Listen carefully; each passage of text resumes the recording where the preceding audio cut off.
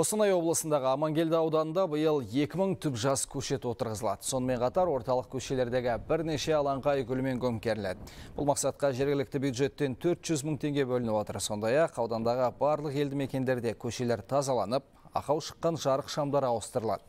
Қоқыс полигондардың санитарлық нормаға сәйкестігі тексеріледі.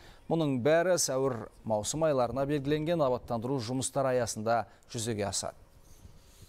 Аудан бойынша абаттандыру жұмыстарына 12 миллион 723 мыңдай қаражат бөлініп отыр осы жұмыстарды атқарылуға сосын енді биылғы жылы өздеріңіз білесіздер 19 жылы жастар жылы деп белгіленгеннен кейін аудан орталығында бір бос тұрған алаңға жастар саябағын салу жоспарланып отыр.